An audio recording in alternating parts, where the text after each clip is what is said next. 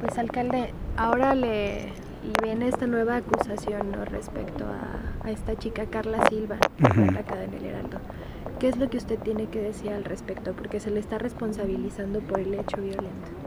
Mira, eh, yo he venido reiterándolo el transcurso del día, que la verdad eh, me apena mucho que suceda en mi municipio en primer lugar y en segundo lugar, pues que reprocho el hecho totalmente. ¿Por qué? Porque se trata primero de una dama.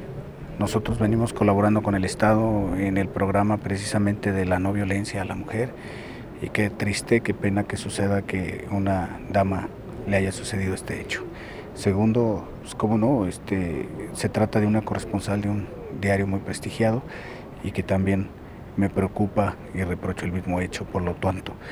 Y en tercer lugar, lo mismo puede sucederle a ella como cualquiera de mis conciudadanos. Así que en sí, para mí, el hecho, como insisto, es totalmente reprochable, pero estoy muy preocupado y soy el primero en que los hechos se esclarezcan. De hecho, comentarte de manera adicional que muy temprano por la mañana eh, me reporté con el Procurador de Justicia, me atendió su secretario particular, en donde le hice el comentario que estoy en la misma en la mejor disposición para que en su momento se esclarezcan los hechos y que se deslinden las responsabilidades, puesto que tengo conocimiento que ante el Ministerio Público se turnó o se presentó la denuncia correspondiente.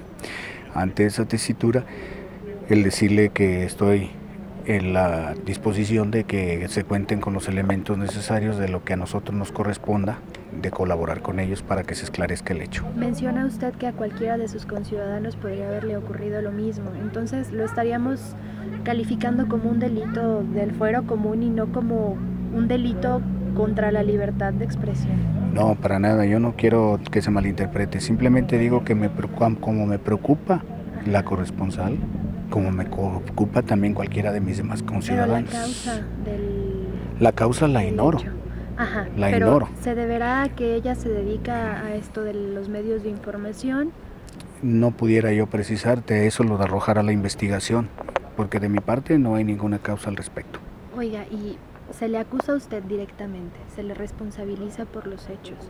¿Usted qué tiene que decir al respecto? Vuelvo a lo mismo, no tengo yo precisión ni tampoco en su momento dado que yo haya intervenido o que esté en su también dando alguna indicación o instrucción para que como tú hablas de que no se garantice o se respete la libertad de expresión.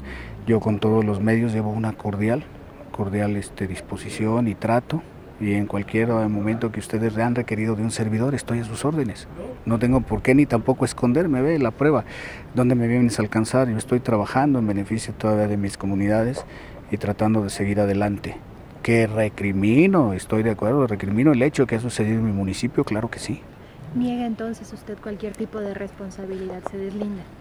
Es que no sé en su momento dado el por qué quieran que yo acepte alguna responsabilidad porque no tengo nada que ver al respecto. Ok, entonces sí se deslinda de la responsabilidad. Yo lo que reitero es que quiero ponerme a disposición de lo que es el trabajo coordinado con las autoridades para poder esclarecer el hecho, porque es un hecho gravísimo. Pero no lo niega. ¿Cómo? O sea, no niega que usted está implicada. No, es que... O sea, no está implicado. Insisto, pues a mí no ni siquiera me han dicho la autoridad que yo soy realmente el implicado. Entonces todo esto tiene una... Se le acusa a usted directamente. Usted podría decir, yo jamás la mandé golpear, yo jamás la mandé agredir. Pues que no tengo un elemento para decirte que yo lo hice. Por eso, pero sí tiene elemento para decirme que no lo hizo. Vuelvo a insistir.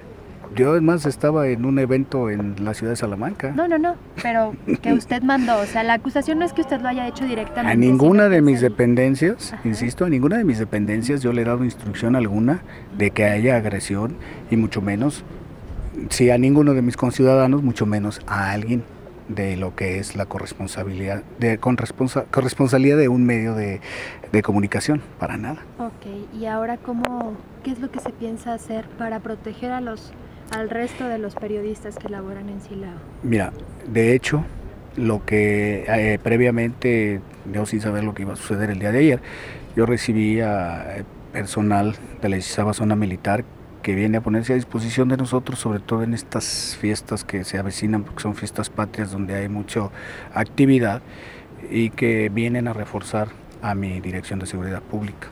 Entonces vamos a reforzar precisamente eso con ellos y nuevamente solicitar la presencia también de la Secretaría de Seguridad Pública del Estado. Entre las acusaciones que se hacen se menciona que hay personal, servidores públicos del municipio que se acercaron directamente a, a la reportera y le dijeron, cito, que le bajara de huevos a sus, a sus notas. La verdad ignoro eso, no sé quién sería. Ok, usted no. no lo ordenó. No, no, no, para nada, pero además ignoro quién de mis gentes de las dependencias municipales haya ido a decirle eso. No, sí, no.